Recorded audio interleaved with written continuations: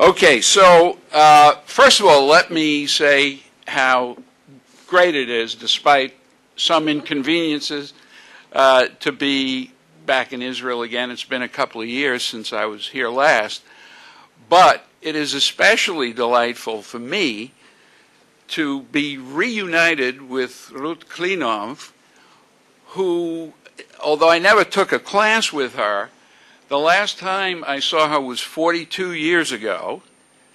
That was before she was born.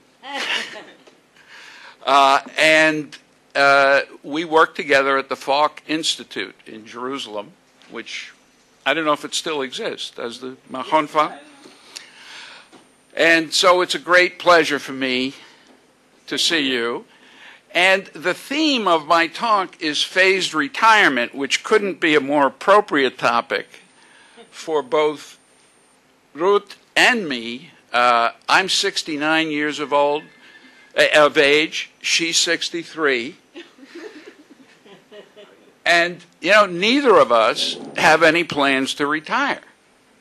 So we are in, let's call it the in between phase that I, I think a lot of people our age are going to be in as the years move on of transitioning between full time work, which means we work like 24 hours a day, to partial retirement where we're only working 12 hours a day. And here is my mentor from MIT. Some of you may recognize Paul Samuelson. This, uh, I, I have the link to this website. This was one of the last lectures he gave. It was a keynote speech at a conference that I organized in 2008. So this is four years ago. He passed away at age 94 uh, in 2010, two years ago. So he was 92 when he gave this speech. And if you listen to it, uh, I think you'll all agree that he was in peak condition mentally. It was very difficult for him to get around physically, but he had assist, he had an assistant uh, who helped him. And the topic was what retirement means to me. And of course, his opening sentence was, I'm not sure what to say. You know, perhaps someday when I grow up and I'm ready to retire, I'll have some thoughts on this subject. But essentially, the advice that he wound up giving uh, in, in the last few sentences of his speech was to young people invest in your own human capital because it'll last a lifetime the best investment you could make. And he was responding to a question about how he allocates his retirement assets. You know, what proportion in stocks, what proportion in bonds. He said, I do have a retirement portfolio, but don't ask me what the composition of it is because I, I never look at it. All I can tell you is invest as much as you can in your own human capital. And that really is my theme today, and not just today, but all the research that I'm doing is about reframing the whole issue. It fits in very nicely with what Bernd had to say yesterday. For those of you who weren't here yesterday, uh, there was a talk by someone from Vienna who works at a uh, UN uh, research institute and it was all about reframing the issue of aging, not looking at how old people are in terms of measuring from the time they were born, but rather measuring from how long they're going to live. So starting from the end point and looking back to the present, and you get a very different picture, okay? Uh, because taking account of life expectancy and improved health of the elderly, what has basically happened in, in recent times is society has become a lot wealthier because it now has this access to, let's call it vintage human capital. Okay, that's the way I prefer to look at it. And in many fields, not in all, but in many fields, uh, the older the vintage, the more productive the capital. Okay, it's not it's not really doesn't work the same way as say physical equipment, factories, and machinery, but rather, uh, at least for some large fraction of the uh, of educated uh, elderly, you're tapping into a wealth of experience and knowledge of a particularly valuable kind.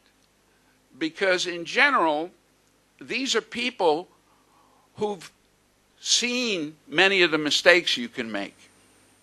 Okay, it's very easy. What happens is every 20 years or so, we have another crisis because the people who are around at the previous crisis, this is particularly true with banking and the financial sector, people forget. They become overly optimistic, and caution goes out the window. So you have another bubble, you have another crash, you have another crisis. It is particularly valuable to have people who've been through at least one crisis before and they know what can go wrong. And, uh, you know, there's a reason why, at least in some uh, tribes and cultures, they actually respect elders. And government is conducted by a council of elders. Uh, they don't call them retirees, they call them elders. And elders, I've been told in some languages, is actually synonymous with wisdom, which is something I think you gain from experience. So, the real issue, as far as I'm concerned, is how do modern societies, Israel being one example, the United States being another example, how do we ta- how can we find ways of extracting from this huge wealth of human capital the maximum value to the benefit of society and, of course, to the benefit of the elderly themselves. That's the big question. And uh, my discussant, fortunately, is going to be able to tell us, among other things, how she does it.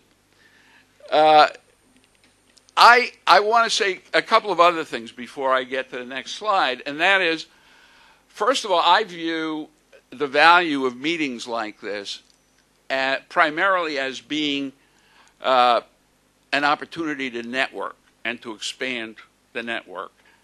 And it's particularly uh, important to do that in the area of retirement and issues of, of uh, work in the elder years. That's a better way to put it, maybe.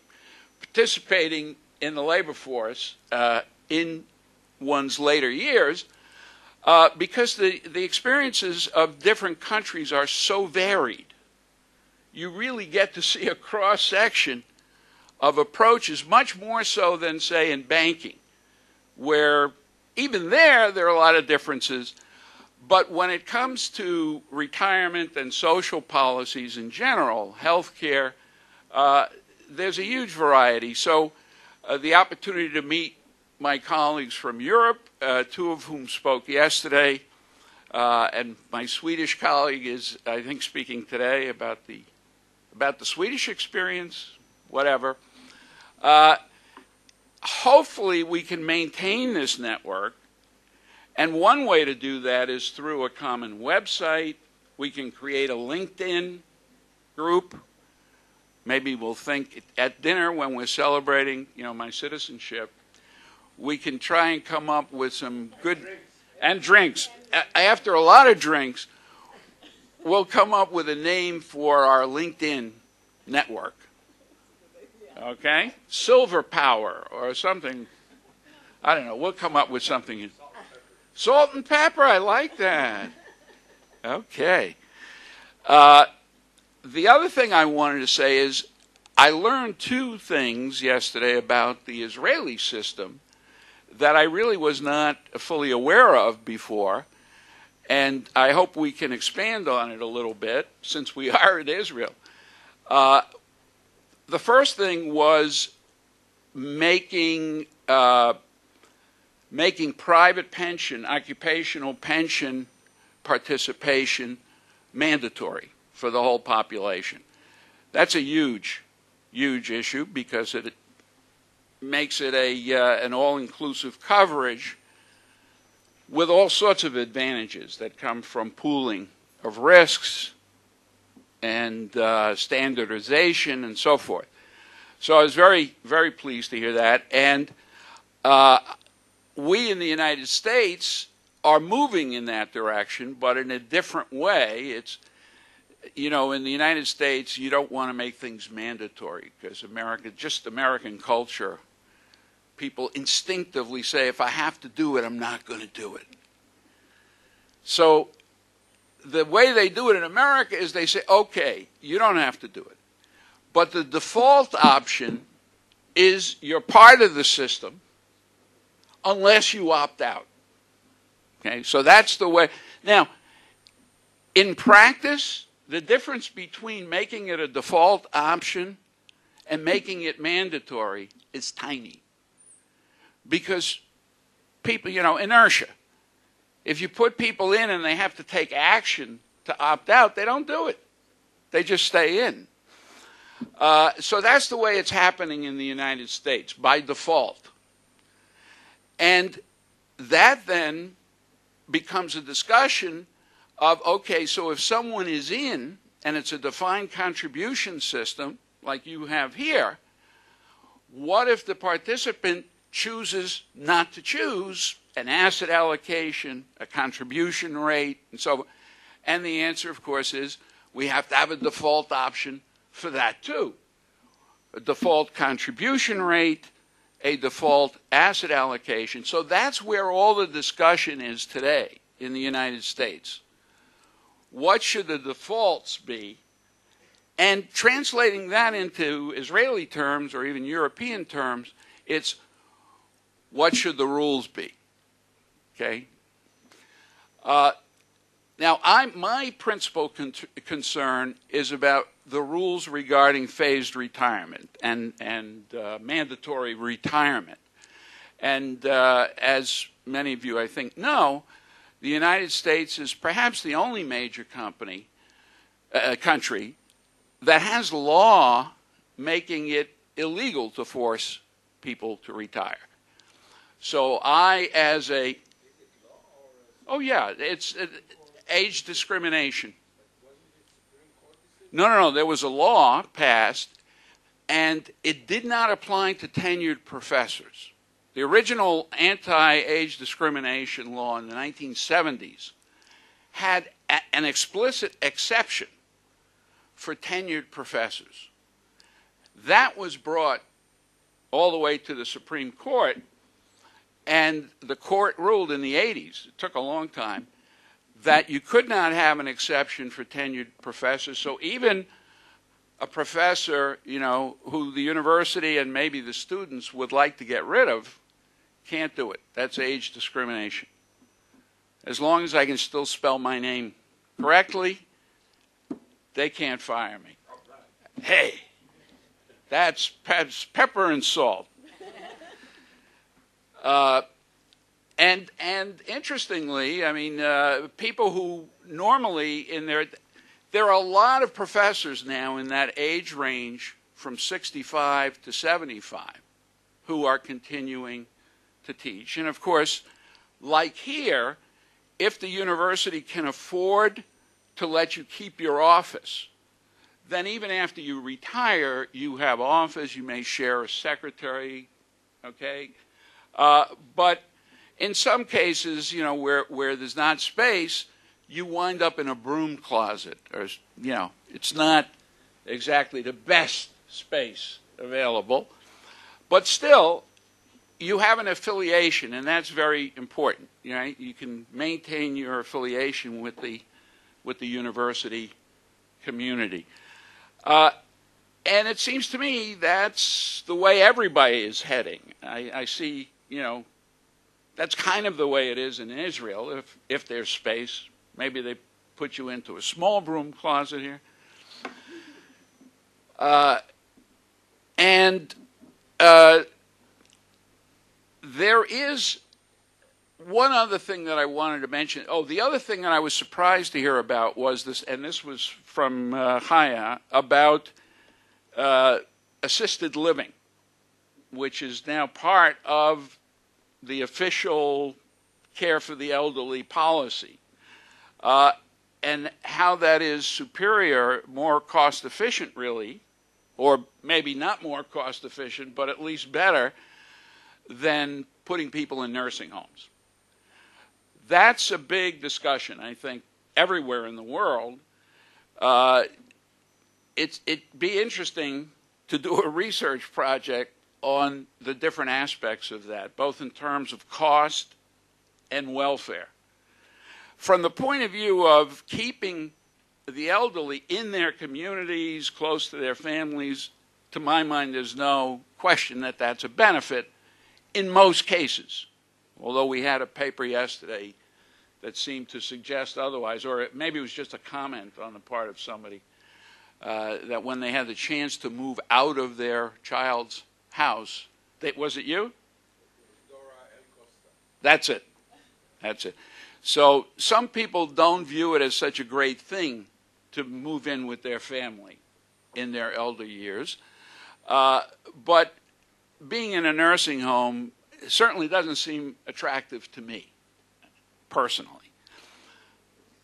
Uh, and so, even if it does cost more to keep me at home uh, in my later years and have someone either in in this country apparently from the Philippines and in on the East Coast in the United States, it's mostly from the Caribbean islands, Jamaica and Trinidad and places like that.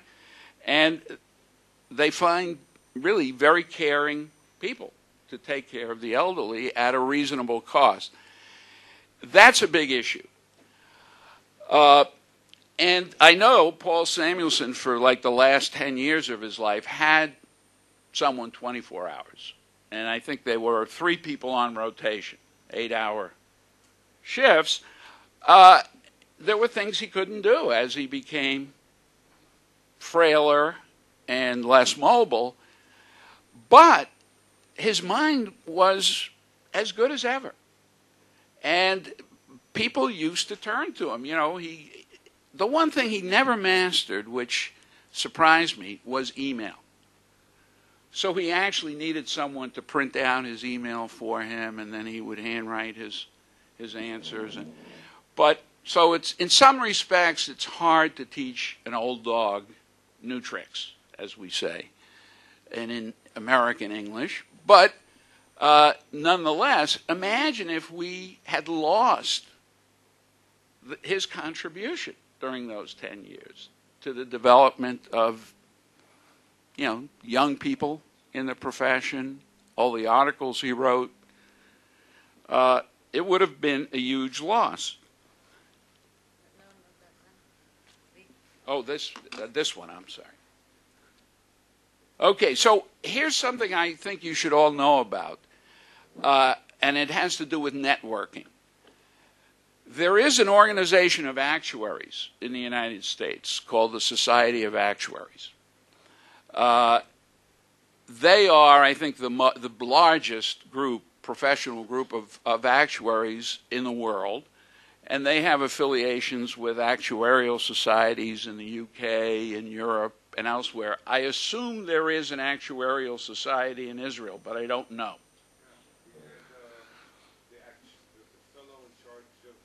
System of uh, yesterday. He's a colleague of uh, a fellow who uh, gave a paper here last year.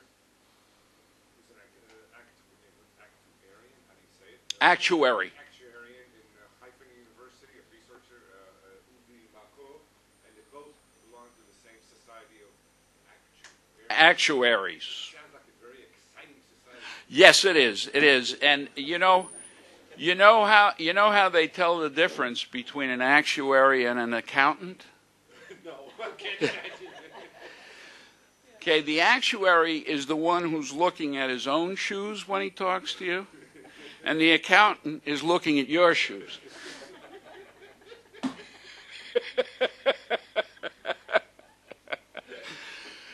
so, you know, because of this exciting reputation that they have, they don't get invited to many conferences or, you know, to celebrations at restaurants and so forth.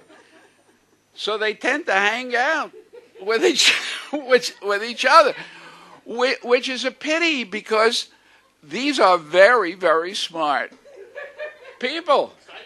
Yeah, I mean, once you get into the realm of mortality tables, there's no one more exciting. They come to life. They have great jokes about mortality. I mean, you can imagine. It's great fun. and they tend they tend to tell jokes about funeral parlors and things like that. Talking jokes, uh, Larry, Larry Summers once said that he went to an actuaries, uh, uh, Convention, yeah. convention and he, he opened uh, his speech by saying that uh, the difference between the, an economist is uh, as good as an actuary about numbers, but he does not have the right personality for. That's good. Uh, so, at any rate, they have a project which, it's which is now in its uh, fifth year, and it is a global project called Living to 100. And this is the website. I have a link to it uh, in this slide. They have now issued, so first of all, you can read these very, very interesting papers about trends, medical trends, and so forth that affect life expectancy. Uh, the best that I've seen, actually, very comprehensive. At these conferences that they have once every three years, it's a, it's a triennial event. And the last one was in 2011. So they they have posted all those PowerPoint presentations and so forth. Some of them are absolutely fascinating about research, genetic research that's being done to extend uh, life expectancy, and uh, lots, not just uh, actuarial science and economics or sociology, but really the hard sciences as as well, uh, life sciences as well. So I recommend that to you. But they are also putting out a call for papers for the next conference, which is 2014. And these are international conferences. The next one is at Disney World in Orlando, Florida. So, you know, if you want to take your children or grandchildren, write a paper. or or an actuary. That would increase your chance. Marry an actuary, and you're in for sure. Okay. Uh, this is the call for papers. And I think the so the conference is in January 2014, and uh, I think the deadline is September for submissions of, of papers, uh, topics at least. Okay, so here's a table that, and this is my last slide. Uh, this table was put together by a good friend of mine who is an actuary and uh, has a great sense of humor, Anna Rappaport, uh, who is uh, very well known in the actuarial profession. She, she spent her career at Mercer, which, one, which is one of the big international human resource consulting firms, benefits consulting firms. They probably have offices in Israel as well. Uh, and she and a, and a uh, colleague put together this table that looks at different factors of labor force part- that relate to the elderly in labor force participation. That's the first column. So, one is uh, what are the usual retirement ages, and they try and predict. They say what it is today, 2030 forecast, and a 2050 forecast. So this is their best guess, but it's an educated guess, okay? Because they, Anna Rappaport is the one who writes the summary report for each of these Living to 100 conferences. So she's really plugged in to what the actuarial community and, and related fields are thinking. Uh, and not just in the United States, but around the world. So the second is the method of existing, uh, of exiting, that should be exiting the labor force, not existing.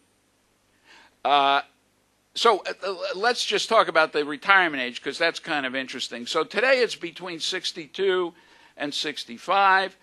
By 2030, their prediction is it'll be 67 if you take early retirement and 70, so it'll extend by five years, and uh, then another, you know, four-year or five-year extension by 2050. So they're saying it'll all move by 10 years. Okay, the normal retirement age uh, over the next 40 years. That's their projection. Uh, and that's in line with what we were talking about in terms of trends in increasing life expectancy. Um, method of exiting the labor force, and this is where we get into phased retirement. So currently, it's typically you just sudden stop, okay? You go from switched on to switched off. And you quit your job uh, and it is fairly common to continue working in a different career uh, for some period of time during those first five to ten years of retirement. So you might find a, uh, a sociology professor, for example, flipping burgers at Burger King for five or ten years on a part time basis. No, I'm kidding. I'm kidding. No, that's not what happens. But becoming a consultant uh, on a part time basis, doing research work, and so forth. Uh, and that is going to become more common. That's their prediction. Phased retirement options are going to become very common and very routine. Uh, it will be very common to start a new career after age 50. So rather than two careers being an exception, it will become more of a norm. You do one thing, you know, from age 25 to 50, and then something else from 50 to 75. Uh, of course, we have people who do that now. You know, they might. Henry Kissinger was a professor for the up until age 50, and then he became a diplomat. Okay, uh, for the second half of his career. And he's, he's probably in the third stage of his career right now with his consulting firm, Kissinger Associates.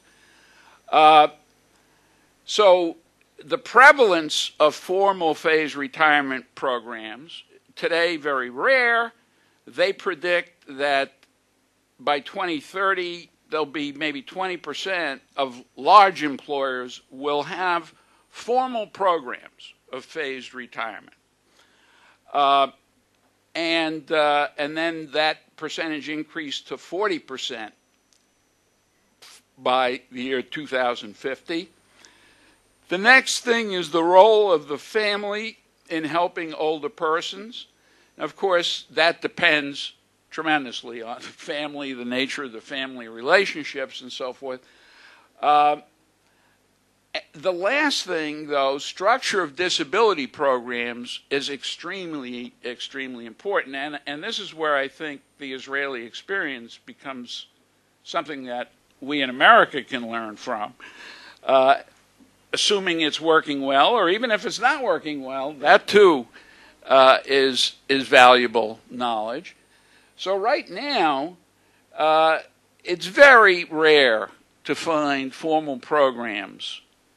Uh, there is long-term care insurance in the United States, very limited market, and the insurance coverage is not terribly good, uh, particularly if you want there to be a cost of living clause in it. And, but it exists, and uh,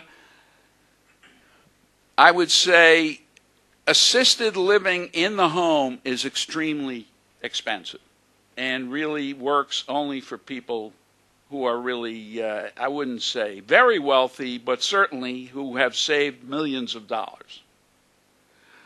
Uh, I know my my father-in-law spent the last five years of his life uh, having round-the-clock care, and they were Jamaican women, and it pretty much exhausted his the amount that he had saved, uh, and that was several million dollars.